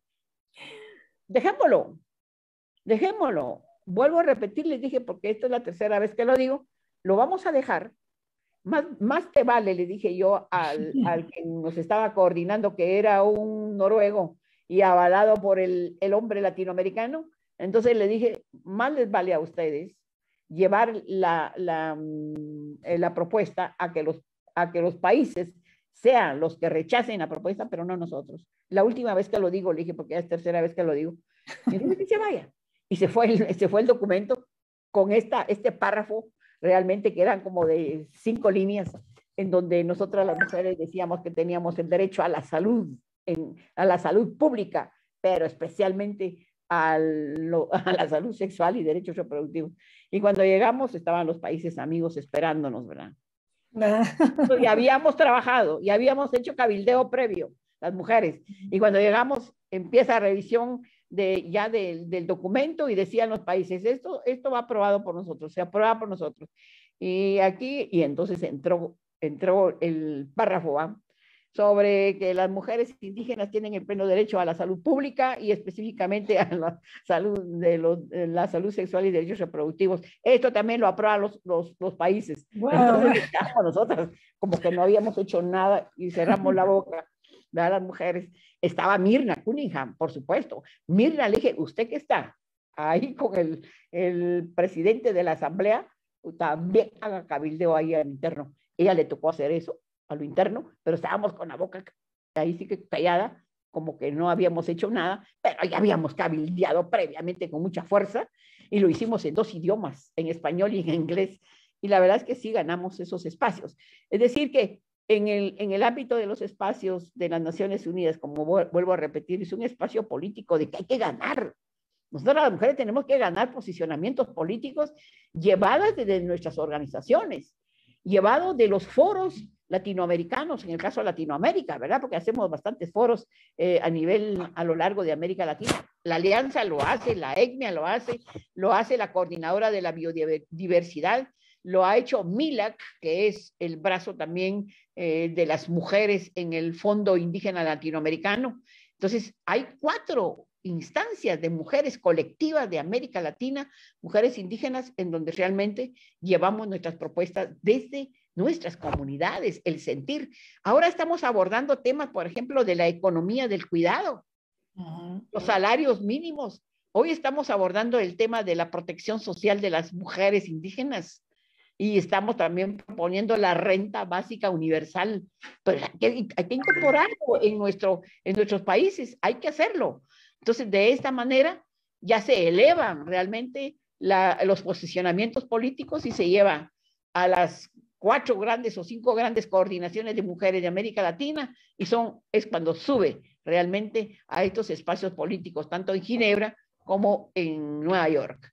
De esta manera hacemos el trabajo estratégico nosotras eh, con la juventud especialmente. La juventud es para nosotros eh, el elemento que nos garantiza, es decir, son las mujeres jóvenes quienes van a garantizar ahí sí que garantizan todas las luchas sociales e políticas e históricas que nosotras las mujeres hemos hecho en términos generales, es decir, para todas las mujeres, ¿no? Entonces, trabajamos también mucho con las jóvenes, con este propósito, ¿verdad?, de que se garantice también que los procesos que nosotras iniciamos desde hace varias décadas se siga fortaleciendo estos procesos y que también hayan innovaciones, por supuesto. Hoy hay que trabajar mucho con las juventudes, la comunicación, la ciencia y las innovaciones, la tecnología. Hay que trabajarlo muchísimo. Eh, hay que ir abriendo estos espacios también para tener una comunicación eh, global. Entonces, constituirnos, que se constituyan las jóvenes en mujeres globales en las luchas políticas, en las luchas sociales y en las luchas económicas de sus comunidades, de sus pueblos y de sus países. Claro, no, pues es histórico. Nada más a ver si se acuerda en qué fecha pasó ese párrafo que se me hace una, una, un éxito y una, una, una gran, eh, un gran aporte. Esa, esa historia la tenemos que escribir, tiene que estar escrita porque ganar eso hoy todavía nos está costando trabajo, ¿ve? ¿En qué época fue, doña Otilia? Hay dos momentos importantes, mi querida doctora Gloria, eh, dos momentos importantes y, y yo agradezco mucho a la vida por darme esta oportunidad de, haber tenido esos espacios de dirigencia. Yo fui directora ejecutiva del foro, del foro perdón, eh, global indígena eh, por tres años, pero me tocó hacer un trabajo mm, estratégico en las Naciones Unidas en la CSW, o sea, en el Comité Jurídico y Económico de la Mujer. Ahí participamos nosotras las mujeres. Como es vinculante, entonces ahí estamos nosotras.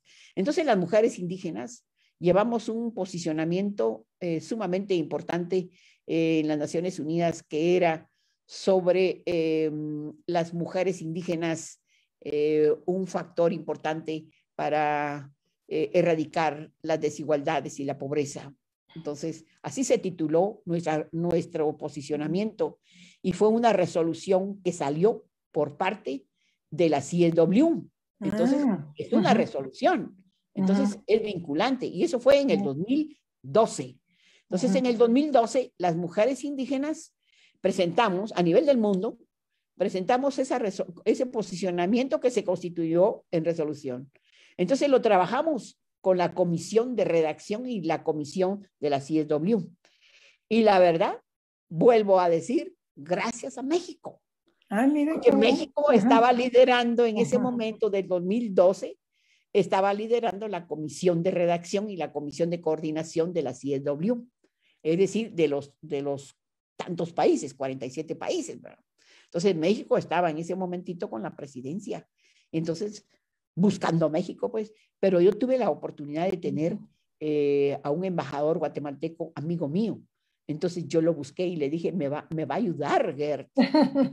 Me va a ayudar porque esa es una resolución del mundo que estamos proponiendo. No es Otilia, no es mi organización, es el mundo, le dije, es las mujeres indígenas del mundo.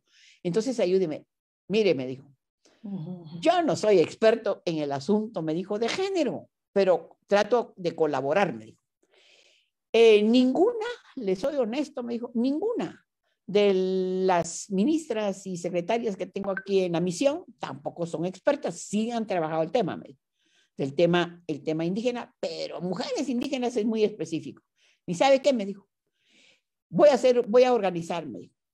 Eh, la silla de Guatemala, usted la va a tener, me dijo, ah. y usted va a esas reuniones. Perfecto, le dije, perfecto. Fue una gran oportunidad realmente para las mujeres del mundo. Entonces yo voy con el posicionamiento y, y, y, ya se había, bueno, discutimos varias tardes. Se iban aprobando todos los párrafos de nuestra resolución, menos una. Y el párrafo de la resolución nuestra era, no, era la salud sexual y derechos reproductivos. Teníamos como, como eh, personas opositoras la Santa Sede y el Canadá. Ah, no Qué pena. Yo dije, qué raro el Canadá, decía yo. La Santa Sede era de esperarse. Pero mi querida doctora Gloria, afortunadamente eh, yo había tenido un viaje a México 15 días antes y mm, yo siempre relato esto porque me encanta eh, leer mucho La Jornada, ah. Procesos y Letras Libres. Mm. Entonces me compro las dos revistas y el periódico para traérmelos a Guatemala para poder leerlo. Y casualmente, en el titular enorme que traía la jornada, decía 43 niños oaxaqueños fueron ultrajados por el cura fulano de tal. Y decía el nombre completo. Yo tenía un caso también, aquí lo tenía en, tengo mis recortes todavía, y ese recorte de acá de Guatemala, de un joven norteamericano de 33 años, había violado a 30 niños del pueblo Achi guatemalteco. Entonces, cuando yo voy a la comisión del, ¿cómo se llama?, de los países para ya sacar la resolución, entonces yo le digo a Mirna Cúñiga, Mirna, le digo, yo necesito que usted me acompañe porque tengo un párrafo duro acá. es decir, no duro el párrafo, le dije, sino siembra inadversación, le dije, para el señor representante de la Santa Sede y hay otro país. Le dije, entonces tratemos de convencerlos para que pase este párrafo. Perfecto, me dijo.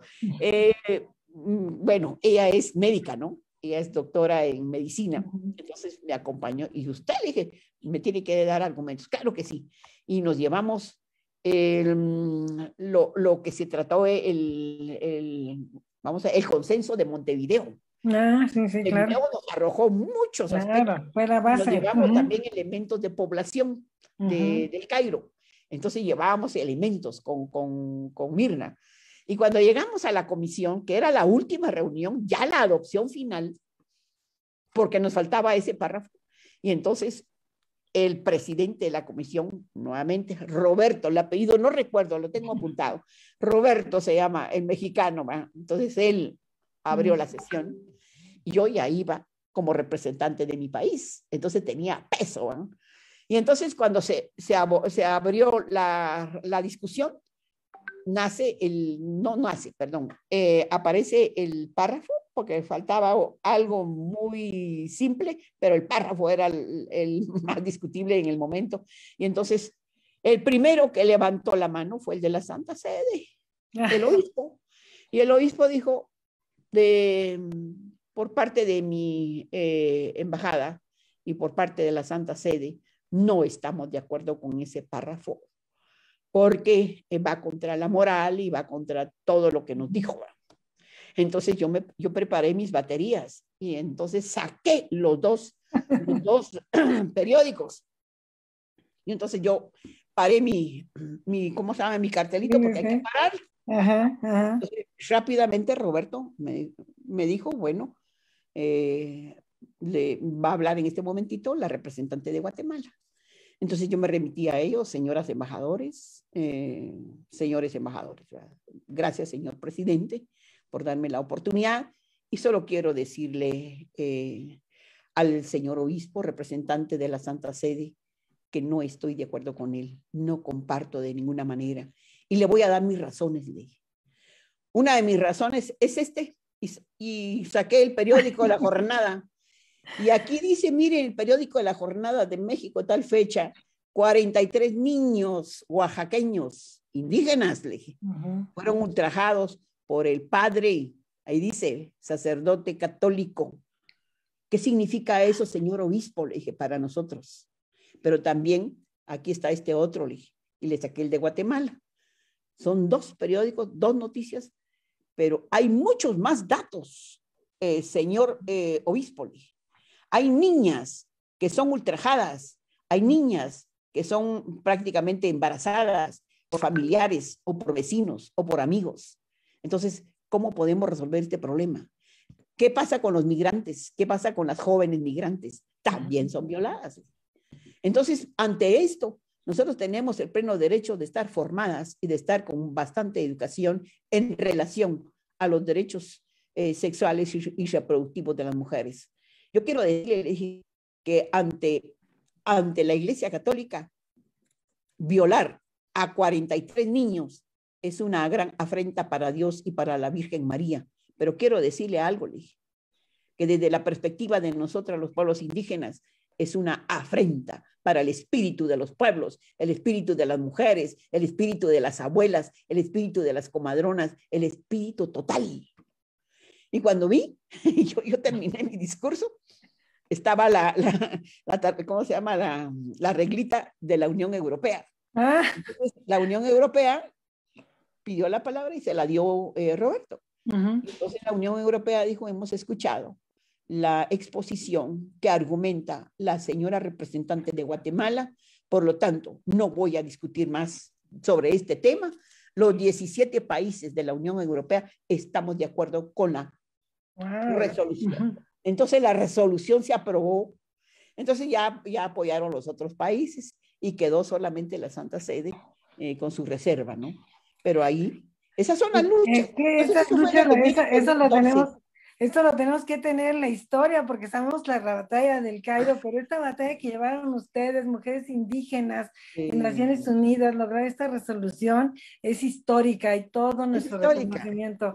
Realmente le aplaudimos, ¿verdad, mi querida Arce? O sea, qué, qué, qué, qué, qué batalla tan, tan, tan importante. Batalla importante, sí. y, y, y, que realmente en la historia de las... Y una mujer indígena desde mujeres indígenas que se levantaron la voz y le debemos, mire, tengo la piel chinita, chinita de, emoción de, de, compartir esta parte de la historia que la tenemos que escribir porque ha sido un súper aporte. Realmente, realmente escribir estas historias desde esta perspectiva de, de derechos de mujeres es muy, muy importante, ¿no? Una batalla que, por cierto, déjenme platicarle y ahorita Arce nos va a comentar la batalla de los derechos reproductivos, o sea, en México está tremendo, o sea, se han hecho legislaciones contrarias a todo, inclusive a los principios, a, criterios de la Suprema Corte noticia que han reconocido la despenalización del aborto en la Ciudad de México, es el derecho de las mujeres, pues quiero decirle que se reconoció, es el segundo, la segunda ciudad donde se reconoce la posibilidad de que la mujer pueda eh, tener acceso al aborto, ¿verdad, Arce? En, en Oaxaca. Y esta, esta batalla por los derechos reproductivos que nos cuesta tanto trabajo y que además deja muchas, muchas mujeres, muchas vidas, muchas vidas. El tema, el tema de la violencia, ¿no? Eh, eh, la, hace ratito, bueno, hablamos del foro y de sus resoluciones, y hablabas, Arce, sería interesante mencionar efectivamente estos informes que ustedes realizaron y que ustedes van a presentar ahorita un informe próximamente. Nos gustaría si nos puedes hablar del mismo, por favor. Eh, gracias. voy a compartir un minuto la pantalla para platicarles a, grosso modo este, esta situación, ¿no?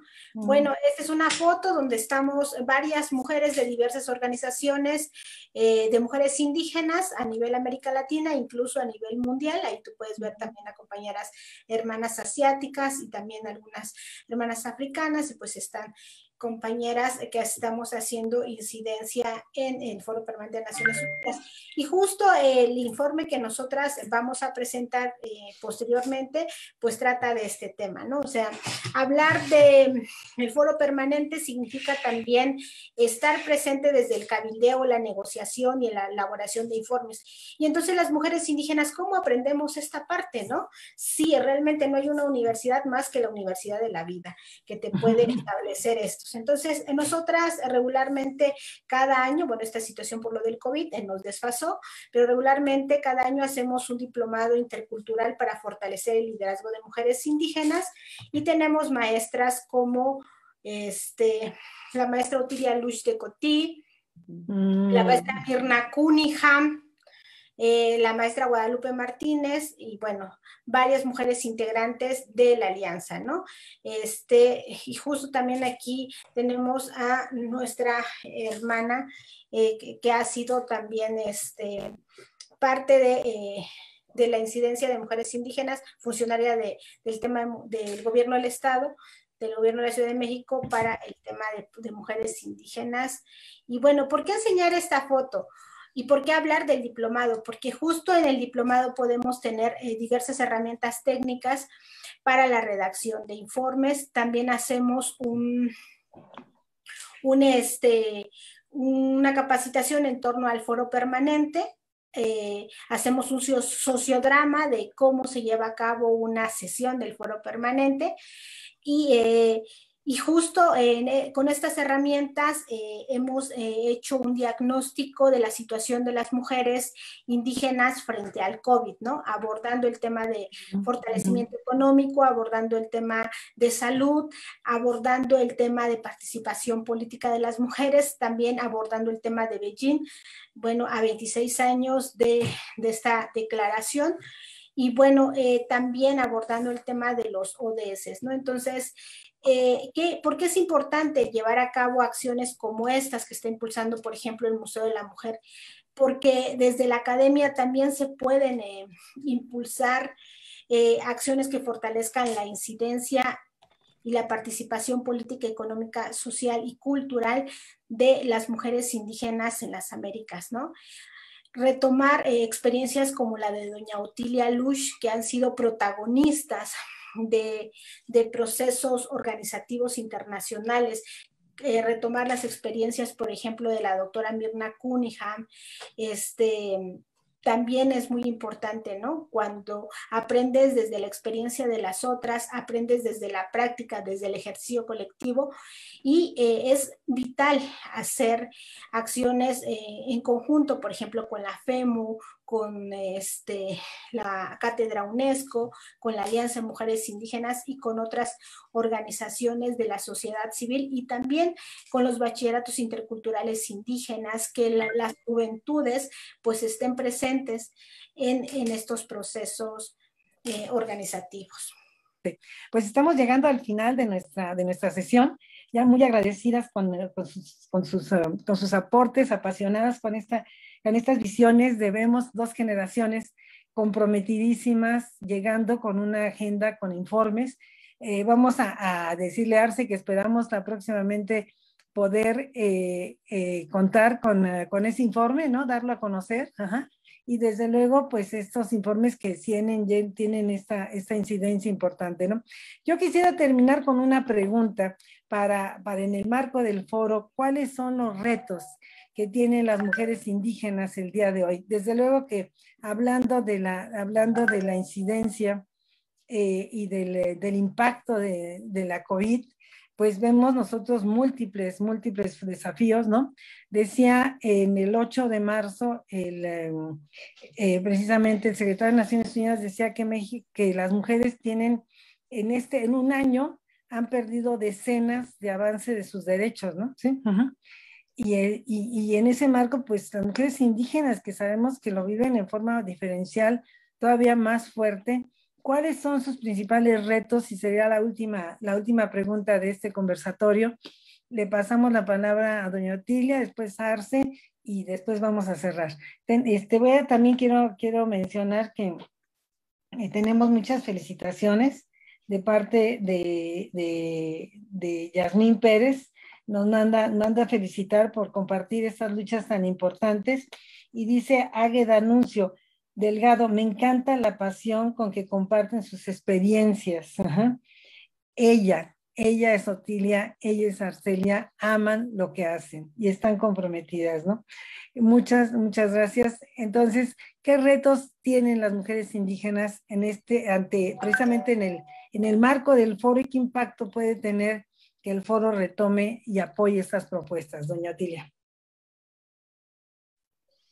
Bueno, eh, ante los déficits que existen para el pleno desarrollo eh, o la plenitud de la vida de las mujeres y una vida digna, eh, sí nos, nos falta muchísimo. yo creo que los retos fundamentales de las mujeres indígenas a nivel del mundo es erradicar violencias y discriminación. Y creo que en este sentido hay un elemento que, promueve eh, violencia, por ejemplo, es la defensa de la tierra y el territorio. Si eso, digamos, eh, estuviera una, un sistema de justicia correcto en los países, no habría ingobernanza en los territorios indígenas, ni mucho menos una persecución con las defensoras de los derechos humanos y las defensoras de los territorios. Entonces, eh, retos importantes es sobre todo eh, lograr la plenitud de la vida de las mujeres indígenas, pero también de las mujeres en general. Entonces, la plenitud de la vida de las mujeres indígenas en sus territorios es que funcione el sistema de justicia y que, sea, digamos, una justicia independiente, una justicia que esté eh, al lado de quien realmente necesita la justicia. Es cierto que hay tanto problema en el debilitamiento de los estados de derecho, pero que es sumamente importante que el mismo sistema de las Naciones Unidas o el reto de América Latina es fortalecer esas democracias sustantivas. Por, otro lado, creo que la paridad es un, es un reto importante para nosotras las mujeres indígenas. La paridad entre nosotras las mujeres, primero. A ver, si me explico. Si, abordamos un 50%, o sea, 50-50, pues ese 50 que corresponde a las mujeres, sí debe haber también la paridad en mujeres indígenas, mujeres afrodescendientes y mujeres mestizas. Entonces yo creo que es en eso sí hay que, hay que hacer un aporte en relación a la igualdad. Entonces ya vamos todas en conjunto buscando también la paridad en donde es para nosotras las mujeres eh, uno de los retos importantes. Lograr la paridad y lograr erradicar la discriminación para una vida digna, nosotras las mujeres indígenas sí lo deseamos realmente. Y esa va a ser la lucha. Esa es la lucha de ahora en adelante. Y creo que vamos a seguir, pues, ¿verdad? Por ahí. El principio, el principio de igualdad, ¿verdad? La paridad como medio, la igualdad como principio. Doña Tilia, mil gracias por, este, por estas excelentes contribuciones históricas que nos han abierto y nos han emocionado tanto. Arce, ¿tú qué retos identificas? Bueno, primero uno de los grandes retos es lograr la participación política de las mujeres indígenas eh, en todos los niveles, local, nacional e internacional. Otro de los retos es el fortalecimiento de capacidades, porque se trata de ir a hacer participación e incidencia desde eh, los diferentes instrumentos y elementos, desde los conocimientos propios, pero también los, desde los conocimientos técnicos. Y a veces no se dan. ¿Y por qué no se dan? Porque no hay presupuestos específicos para que se puedan llevar a cabo este fortalecimiento de capacidades. Otra, otro de los grandes retos es la organización. Eh, desde los diferentes niveles, ¿no? Eh, y eso, pero también eso te da el espacio de poder invitar a mujeres como Gabriela, que justo ahorita estamos viendo en el chat, Gabriela, Teresa, este, Blanca Zamudio y otras mujeres que están en estos espacios, eh, de decir, trabajemos juntas, trabajemos juntas por una agenda común que son los derechos de las mujeres y de las mujeres indígenas, ¿no? Invitar al tribunal electoral para decir, hagamos juntas cursos de fortalecimiento para mujeres indígenas desde eh, los diferentes gobiernos, desde los diferentes espacios, desde el tribunal de justicia, desde eh, las direcciones de participación política de las diferentes secretarías, pero también desde la sociedad civil organizada. Y bueno, los retos van a seguir siempre y cuando no nos organicemos, ¿no? Entonces, la sigo invitando a que colaboremos en conjunto. Eh, les dejo el correo electrónico, eh, también la página de internet que tenemos ahí como alianzami.org. Eh, también las invitamos allí a que nos sigan en las diferentes redes sociales. Y que también podamos sumar a la construcción. Estén pendientes de nuestras convocatorias y pues súmense a esta participación comunitaria de todas nosotras. Pues muchísimas gracias. Yo les renuevo nuestro agradecimiento y quiero hacerles llegar a través del Museo de la Mujer un reconocimiento que les vamos a, que les vamos a hacer llegar. Muchas gracias. Un, reconocimiento que ahorita vamos a, van a poner en la pantalla. El Museo de la Mujer otorga presente reconocimiento a la maestra Otilia Lux de Coti, asesora del programa emblemático Mujer Indígena del Fondo de Desarrollo de los Pueblos Indígenas de América Latina por su, por su participación en el conversatorio en conmemoración del Foro Permanente para las Cuestiones Indígenas de la ONU desde la perspectiva de género, firmado por la doctora Patricia Galeana, que es una gran historiadora y fundadora de este museo. Con mucho cariño, este maestro Otilia, ha sido una gran lección la que nos ha dado el día de hoy. Y también a mi querida Arce, compañera de muchas batallas, gracias por tu apoyo en esta mesa. Traer a la maestra Otilia ha sido un lujo, traerte a ti es otro. Muchas gracias, mi querida Arce. Te entregamos también virtualmente este reconocimiento con nuestro abrazo. Y a todas y todos los que nos acompañan el día de hoy, les agradecemos muchísimo su, su presencia, su, con su asistencia y, y estaremos acompañando a estas maravillosas mujeres que han abierto camino para todas, no solamente para las mujeres indígenas, sino para todas. Un abrazo fraterno y nos vemos en, una, próxima ocasión. Muchas gracias. Muchas gracias, doctora. Eh, muy amables por haberme invitado y creo que es eh, un deber también compartir nuestras experiencias, puesto que esta es parte de las transferencias eh, tecnológicas y de sabiduría que hacemos las mayoras con las jóvenes, ¿verdad? Creo que es sumamente importante y que sigamos adelante, sigamos luchando, que sea una lucha de equipo, de grupo y que no nos sentamos con miedos para hacerlo, al contrario, con mucha fortaleza, que lo vamos a lograr. Vamos poco a poco, pero vamos, logrando. Poco a poco. Pues mire, tanto usted como Arce, además formalmente invitadísimas a formar parte de la Federación Mexicana. Usted desde, desde Guatemala y Arce desde México, necesitamos mujeres que se sigan sumando y sería un lujo que forman parte de nuestra organización. Las esperamos muy pronto. Estaremos en contacto. Un fuerte abrazo, un fuerte abrazo, Nos vemos.